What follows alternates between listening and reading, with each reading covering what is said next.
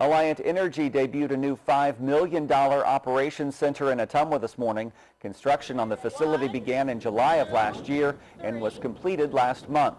The building has over 22,000 square feet to house its 28 employees, and they say it's a better way to serve Alliant's employees and customers.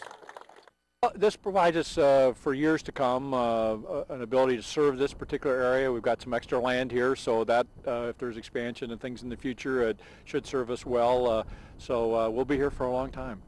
When I say one, The new Alliant facility is another building in the Ottumwa area that's environmentally conscious. The building and site are designed and constructed, constructed with LEED requirements, and both the building and the site are expected to achieve a LEED Gold rating.